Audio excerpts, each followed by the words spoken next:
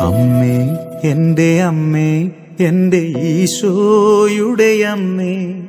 അമ്മേ എന്റെ അമ്മേ എനിക്കീശോ തന്നൊരമ്മേ. അമ്മേ എന്റെ അമ്മേ എന്റെ ഈശോയുടെ അമ്മേ. അമ്മേ എന്റെ അമ്മേ എനിക്കീശോ തന്നൊരമ്മേ. ആവേ മരിയ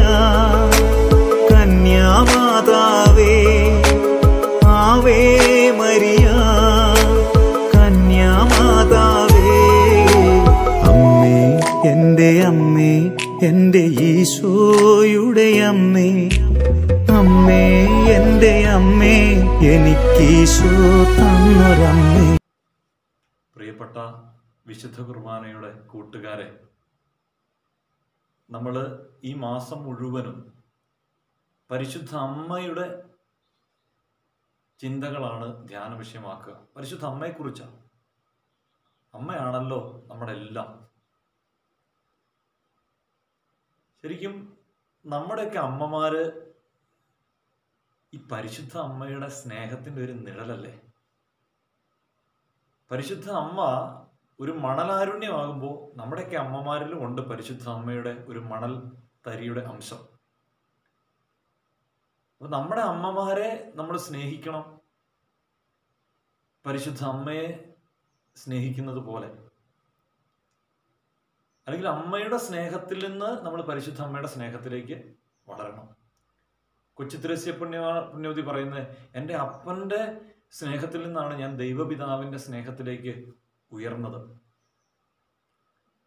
ഈശോ സ്നേഹം നിറഞ്ഞവരെ എന്റെ ജീവിതത്തിൽ ഒന്ന് രണ്ട് കൊച്ചനുഭവങ്ങളൊന്ന് പങ്കുവെക്കാന്ന് വിചാരിക്കുക. പണ്ട് വളരെ ചെറുപ്പം.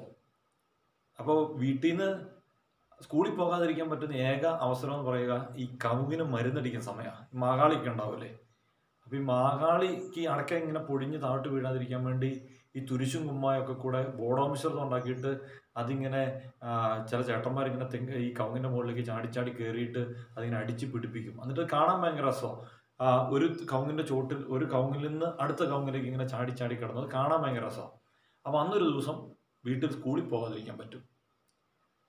അപ്പൊ അങ്ങനെ ഒരു ദിവസം സ്കൂളിൽ പോകാതിരുന്ന സമയത്ത് ഈ ചേട്ടന്മാരിങ്ങനെ ചാടി ചാടി കവിന്റെ മുകളിൽ കയറി മരുന്നടിക്കുന്നത് കണ്ട് ഇങ്ങനെ മുകളിലേക്ക് നോക്കി നിൽക്കുമ്പോൾ എന്റെ കണ്ണിലേക്ക് ഈ ബോഡോ മിശ്രിതത്തിന്റെ ഒരു ഒരു ഒരു തുള്ളി കണ്ണിലേക്ക് വീണു.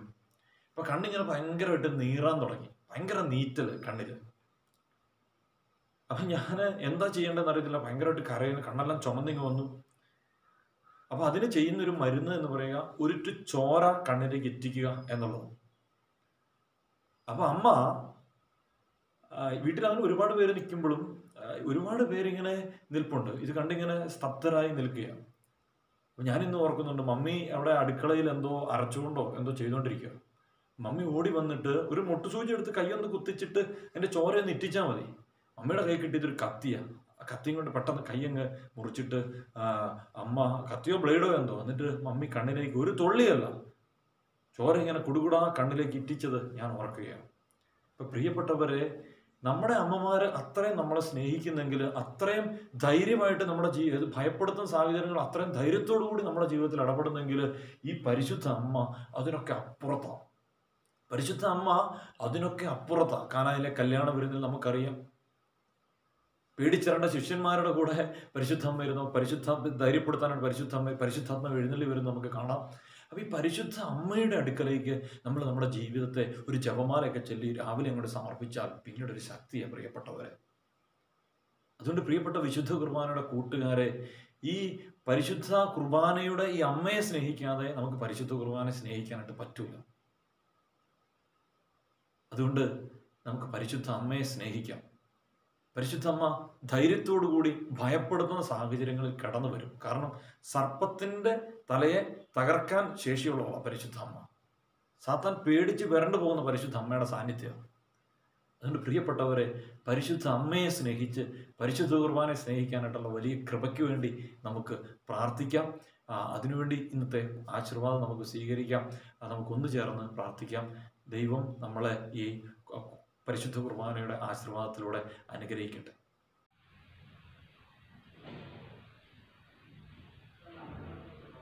നമ്മുടെ കർത്താവ് ഈശോ മിശിഹായുടെ കൃപയും പിതാവായ ദൈവത്തിന്റെ സ്നേഹവും പരിശുദ്ധാത്മാവിന്റെ സഹവാസവും നാം എല്ലാവരോടും കൂടെ ഉണ്ടായിരിക്കട്ടെ. ഇപ്പോഴും എപ്പോഴും എന്നേക്കും ആമേ